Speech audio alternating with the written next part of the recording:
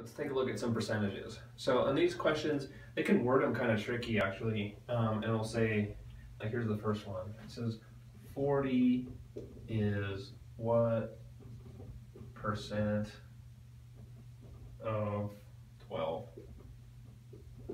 Okay, 40 is what percent of 12? And so it's like, what are they asking? When they word it like that, X is what percent of Y, you just divide 40 by 12.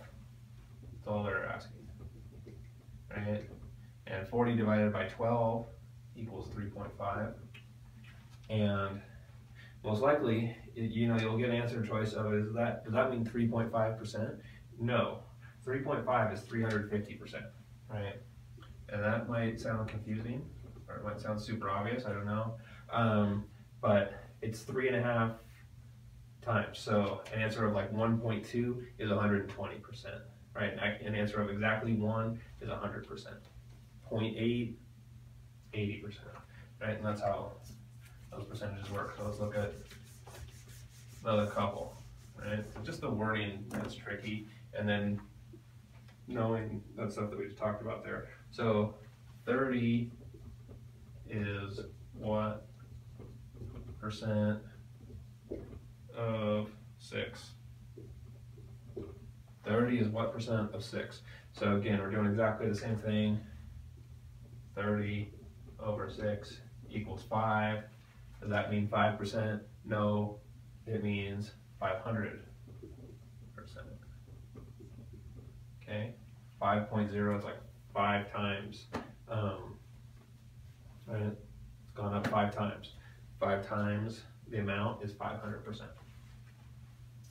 Something has doubled it's 200%. Just giving a bunch of examples so we get comfy with it.